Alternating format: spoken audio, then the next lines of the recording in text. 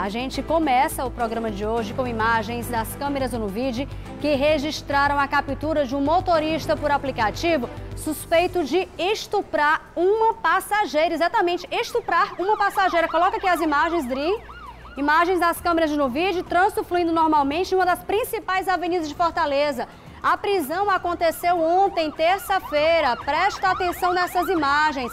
Polícia encostou, polícia encostou, trancou o cara, não tem mais pra onde ir, nem pra frente nem pra trás. Avenida Bezerra de Menezes, no bairro Parquelândia. Esse é o suspeito, mão pra cima, já se rendeu. Ele estava inclusive com corrida. Olha o passageiro saindo atrás, coitado, sem entender nada. Pensou que fosse apenas uma abordagem de rotina, só que não. O homem foi denunciado por uma passageira, motorista, viu? Que de acordo com a polícia, o estupro teria acontecido durante uma corrida no Planalto Ayrton Senna. E essa corrida aconteceu quando, Isis? Na segunda-feira. A vítima foi à delegacia, na terça os homens chegaram, chegaram junto, caíram em campo. O suspeito de 29 anos foi levado à delegacia de defesa da mulher e a investigação está a cargo da Delegacia de Combate à Exploração da Criança e do Adolescente. Mas por que isso foi para a Deseca? Porque, minha gente, a passageira tem apenas 16 anos de idade.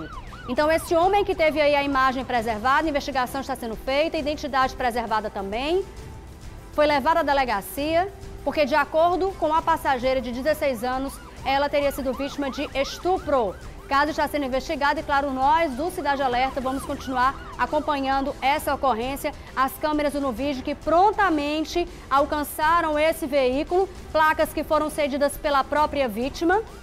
E a Polícia Civil, à frente à DESECA, investigando esse caso envolvendo esse motorista por aplicativo.